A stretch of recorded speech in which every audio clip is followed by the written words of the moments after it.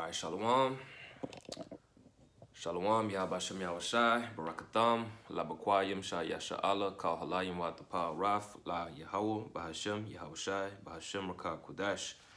All right, all praises, honor, and glory to Yahbashim Yahawashi. Peace and blessings to the house of Israel, beginning with the elect. Double honors to the elders and apostles that rule well. And shalom to you brothers teaching this word in the most truth and sincerity. And shalom to the believers right, that are listening and coming back to Yahbashim Yahawashi in repentance. And um, I want to start a precept here. This is uh, the book of St. John, chapter 4, 14, verse 12. It says, Verily, verily, I say unto you, this is who the world ignorantly calls Jesus Christ. His name is Yahawashi in the Hebrew. He is saying, Verily, verily, I say unto you, he that believeth on me, the works that I do, shall he do also. And greater works than these shall he do, because I go unto my Father. And, you know, this video, I want to go into some of those works, all right, some of those uh, miracles.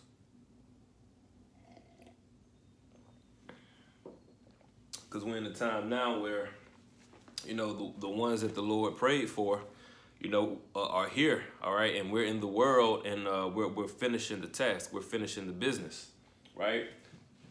And you have Esau and his technology, his angels, all right, his, his power on the left-hand side. All right, the Lord is going to have to raise the standard. He's going to have to give us power to combat uh, the, the, the devil, man, because the devil is getting ready to come in, you know, like the scripture says, as a wild, as a uh, flood, right? And so the Lord is a, is a just uh, balance, right? Proverbs 11 and 1, the Lord says that a false balance is an abomination. So the Lord is going to have to, you know what I'm saying, give us that power, man. All right, or or, or we'll be taken, you know, by the flood of our enemies, right? Because when you go to Psalms,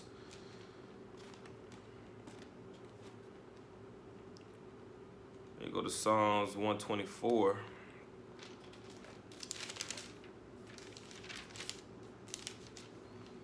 And one that says, If it had not been the Lord who was on our side, now may Israel say, If it had been not the Lord who was on our side when men rose up against us, then they had swallowed us up quick when their wrath was kindled against us. In 2nd Ezra 16, it tells you how the burning wrath of a great multitude was kindled against thee.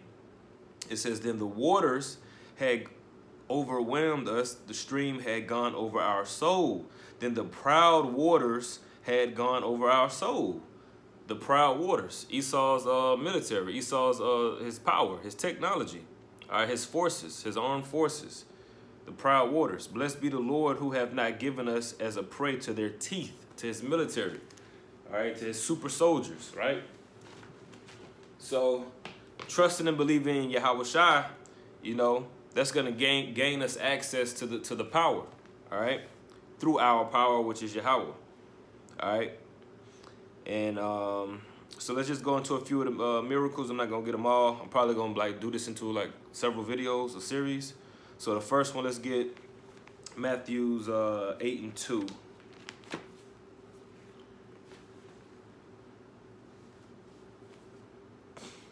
Which was uh, when he when he healed the leper. It says, And behold, there came a leper and worshipped him, saying, Lord, if thou wilt, thou canst make me clean.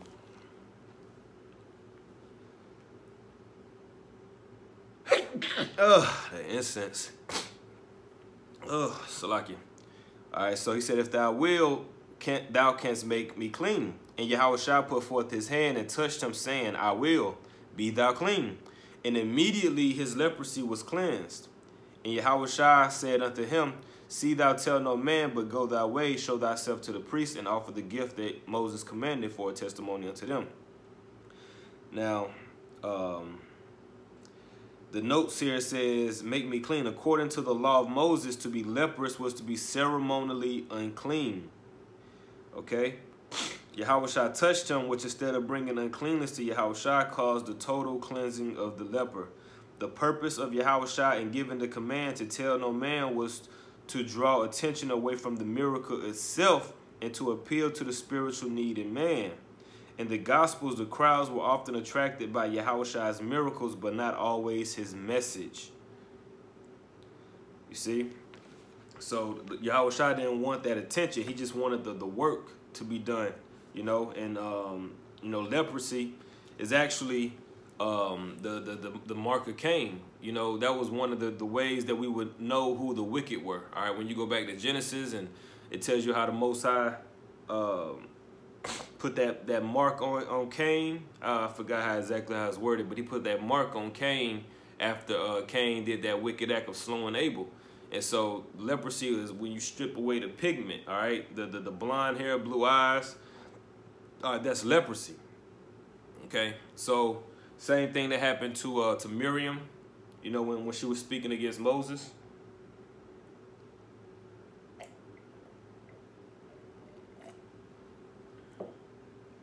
So this was a sign that the Lord gave us to know who the wicked would be. All right, not saying that um, all people with with uh, leprosy or blonde hair, blue eyes are, are, are the wicked, because you have some Israelites that have been mixed and mingled with them that might look like them. All right, but that is a sign of leprosy, though. That is a, a scriptural thing. All right.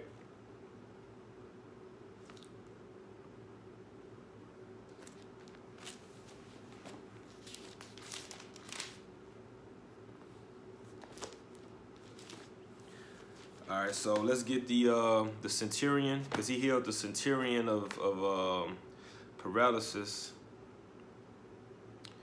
All right, and this is uh, Matthew's 8 and 5. And when Yahawashi was entered into Cap Capernaum, there came unto him a centurion beseeching him. Beseeching means to beg, and saying, Lord, my servant lieth at home sick of the palsy, grievously tormented. Palsy is a uh, paralyte, par uh, paralysis. And, and Yahawashi saith unto him, I will come and heal him. The centurion answered and said, Lord, I am not worthy that thou shouldest come under my roof, but speak the word only, and my servant shall be healed. All right, let's jump down to 13. And Yahawashi said unto the centurion, Go thy way, and as thou hast believed, so be it done unto thee. And his servant was healed in the self same hour. So, you know, the, the belief played a big part in that. You know what I'm saying? So just like today, you know, the belief of the miracles, the belief of the power, that's going to play a big part in the, the works and the, in the, the, the, manifestation of these acts that uh, the Lord is going to do in these last days and time. So right now, that's why we're, that's why I'm doing this video, Lord willing to build up belief, all right, to, to edify, to, to, um, to, to, to, to paint the picture and to get your mind uh, to see these things, man. Because these things are about to happen again, you know. Let's go to... Uh, 8 and 14. All right, this is Yahawashi healing Peter's mother-in-law. And when Yahawashi was coming to Peter's house, he saw his wife's mother laid and sick of a fever, and he touched her hand, and the fever left her. And she arose and ministered unto them. When she, when the even was come, they brought unto him many that were possessed with devils, and he cast out all the spirits with his word, and he healed all that were sick. And y'all, we have the word, brothers. We have that same word, man. We're going to be doing the same things, Lord willing, man. That it might be fulfilled, which was spoken by Isaiah the prophet, which is Isaiah Yeshaya, saying, Himself took our infirmities and bare our sicknesses. All right, so that's him healing the mother-in-law. That's the third one. The fourth one. Let's go to... uh.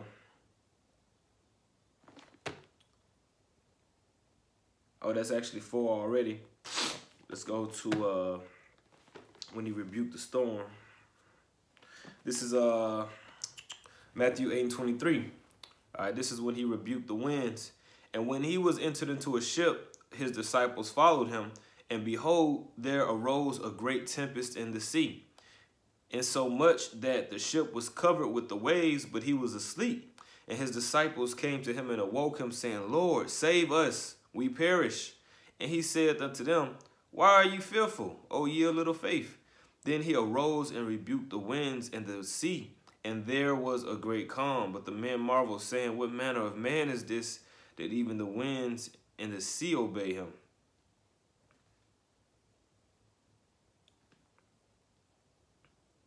Hmm.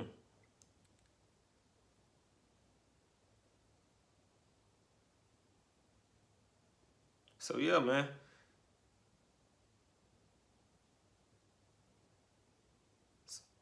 So so the disciples were scared, and, and he said to them, Why are you fearful, ye little faith? Why y'all scared of that, man? So he arose and rebuked the winds and the sea, and there was a, so the Lord had access of the of the, of the elements, man, and he he rebuked those things because at the beginning, you know, you know the Alahayim were before these things, all right. And well, let me not say that. I'm say I'm not gonna say before the elements.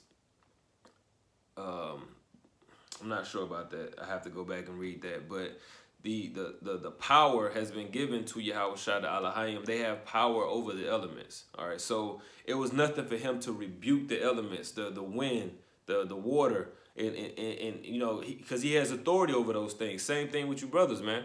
If you of the elect, all right, if you're the ones that were with with uh, the uh, the word in the beginning, creating everything, you have been given power to rebuke these things. You have been power to to, to you know to stop doing this. You know, I, I rebuke you by Hashem Yahweh Mashiach. Stop, you know, just to, to stop these things from happening. But you gotta have faith. That's why he said, oh, you of little faith. You see? Because if they had great faith, they wouldn't have had to come and disturb him and say, Master, we you know we about to die. Let's go to the 28th verse. All right, healing of devil-possessed man. All right, and when he was come to the other side of the country, of the Gen, uh, Gergesenes, there met him two possessed with devils. All right, and that word devils, all right, they have, they say that this says demons, all right? Demons, left-handed spirits, pretty much.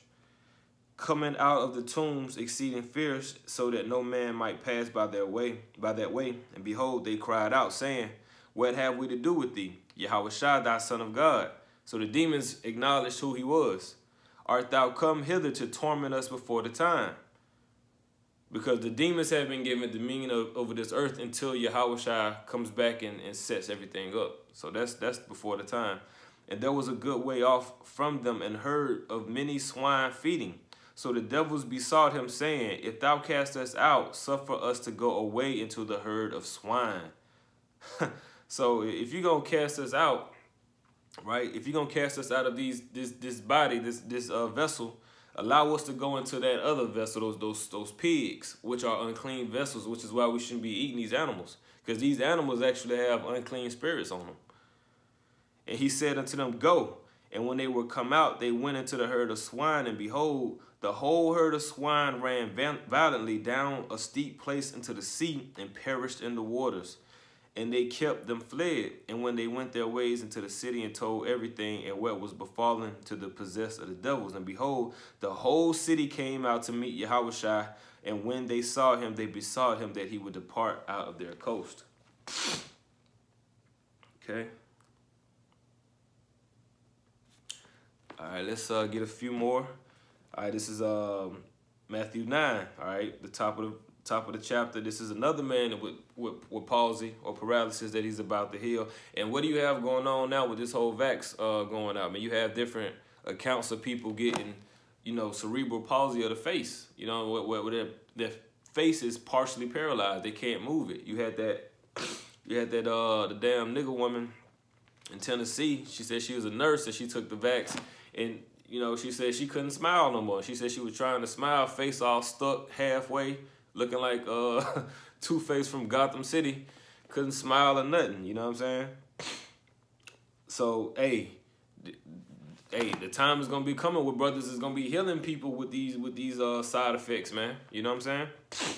All right, so this is Matthew 9 and 1. And he entered into a ship and passed over and came into his own city. And behold, they brought to him a man sick of the palsy, laying on a bed. And Yahweh seeing their faith, said unto the sick of the palsy, Son, be of good cheer, thy sins be forgiven thee. Because it was probably his sins that had him in that situation. But ultimately, this was to, to, to glorify Yahweh anyway. And behold, certain of the scribes said within themselves, This man blasphemeth. And Yahweh knowing their thoughts, said, Wherefore think ye evil in your hearts? Why y'all thinking like that? Why y'all, what's wrong with y'all? For whether it is easier to say, Thy sins be forgiven thee, or to say, Arise and walk, but that ye may know that the Son of Man have power on earth to forgive sins. So Yahawashi has the power to forgive sins as well. That's why we have to acknowledge Yahawashi. You got all these Israelites that's always talking about the Most High, the Most High. They never give reverence to Yahawashi when Yahawashi had been given judgment. All right, the Most High gave Yahawashi the power to forgive you of your sins.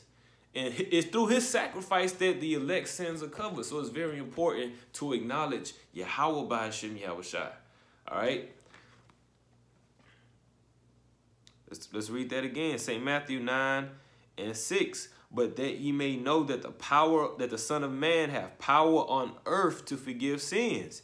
Then saith he to the sick of the palsy, Arise, take up thy bed, and go into thine house.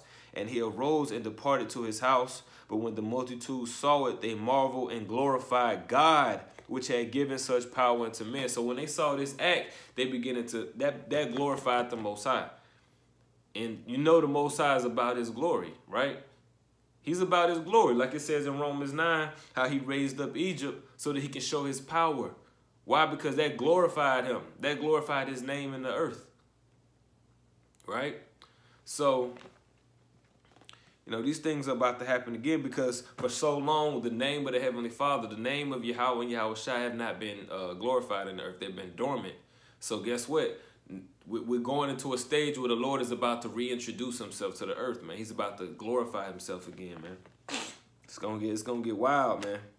And we got internets too, so imagine when these miracles start going on uh, camera and then they go viral, man. This is gonna get gain a lot of believers, just like in the time of Acts.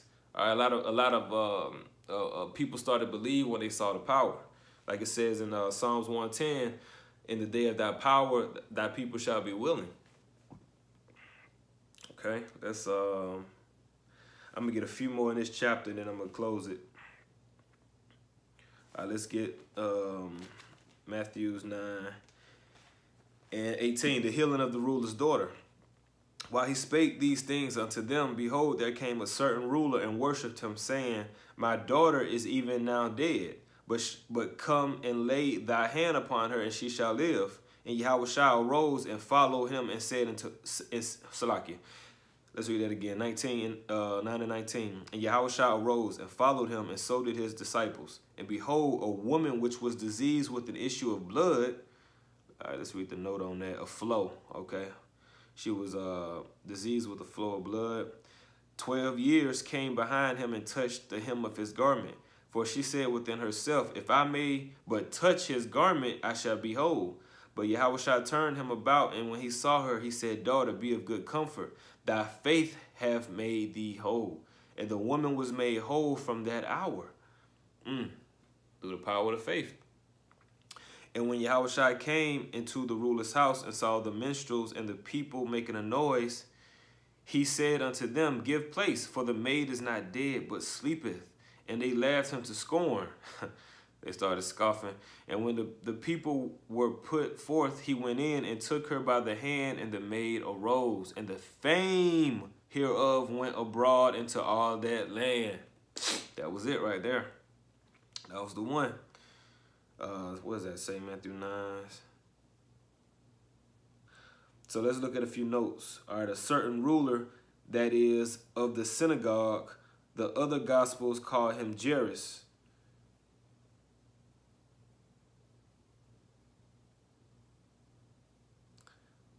um, worship. The, the, this suggests that he recognized Yahawashi's deity and authority. In the parallel passages, we are told that his daughter was dying when he first came and that she died while he was en route. Matthew telescopes two phrases into one, saying, she is even now dead. Now, verses 20 through 22, the notes say, I shall be whole, literal literation, I shall be saved or healed. A rabbi customarily addressed a young girl as daughter. Yahawashi exhortation to be of good comfort means to cheer up. The further, the further statement, thy faith have made thee whole, indicates that God's blessing on our behalf, on our behalf, is usually in proportion to our willingness to trust Him. Mm. Right. 23 to 26. The scene described here is typical of a middle, middle of a Middle Eastern home where someone where someone lay dead. Mourners were actually hired to make noise. The minstrels were flutists.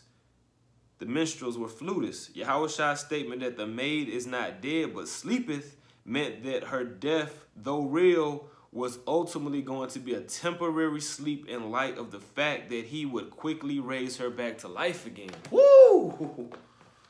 Mm. But you see the power that the Lord had, man? So basically, she gave up the ghost. The spirit then, then straight departed, right? The Lord was able to put the spirit back into her, man, and, and resurrect, just, you know, come back. And this was a light thing. This was a light thing, man. And, and, and, it, and what did it say? It says, eh, 26, and the fame hereof went abroad into all the land, man. That man got famous after that one, okay? Matter of fact, let's see what the notes say on that. Yeah. Yeah, the Lord, the Lord, that one, that was it right there. hey, you can imagine that, man. You can imagine that. Hey, man, uh, such and such, man. You, you heard such and such, man. Such and such was, you know what I'm saying? She was dead, like she was gone. She was out of there, man. And then such, then, then, then the Lord came and, you know what I'm saying? He put his hands on her and, and she came back to life. And, you know, you can just imagine like that. That was it right there, man. That was it. So this ruler was um Oh, we already got that. Yeah, someone of the synagogue. All right, so let's get a couple more, man. Let's get a couple more. The, the hemorrhaging woman. Let's get that one.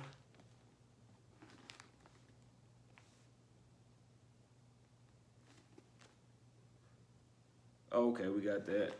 Um, the blind man. So let's go jump down to 27. All right, Matthew 9 27. And when Yahawashi departed thence, two blind men followed him, crying and saying, Thou son of David, have mercy on us. Oh, son of David, see?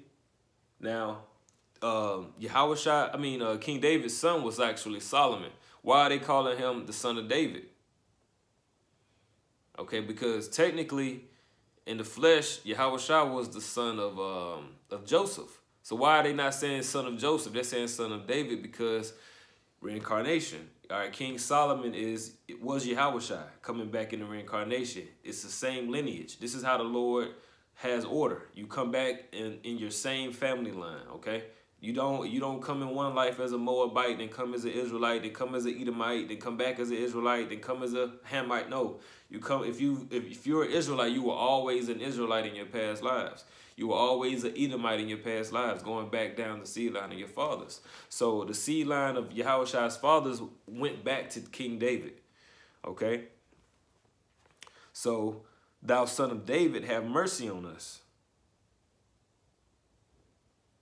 Which the note says here, two blind man, two blind men call out, thou son of David, which was a messianic designation the form of, of their address seems to indicate that they had put their faith in Yahweh as the Messiah.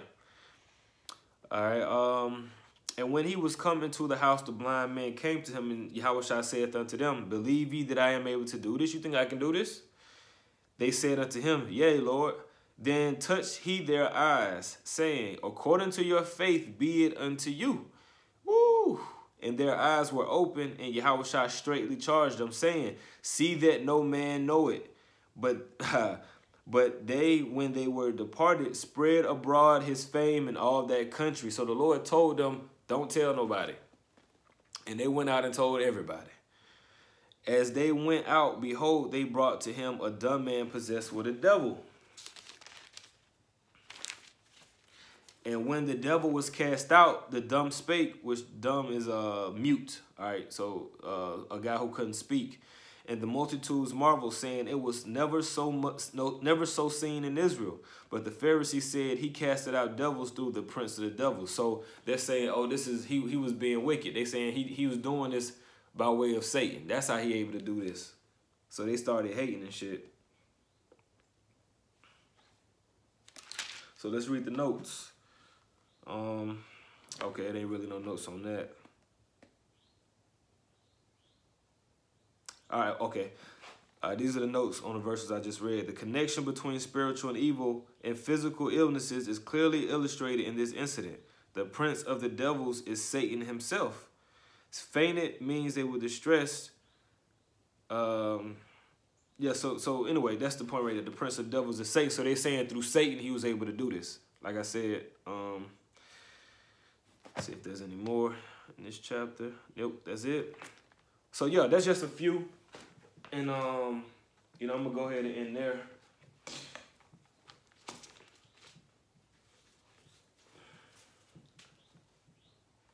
Then I'm gonna come back later, Lord willing, and uh, go into some more. Um, that's just a few. So, Lord willing, that was edifying. Uh, I was edified. So, Lord willing, the Spirit had it to where you were edified as well. If you, you know, watch this video, uh, giving all the praise, and glory to again Yahweh, Bahashem, Yahawashi, Bahashem, Rakakudash. All right, until the next time, Shalom.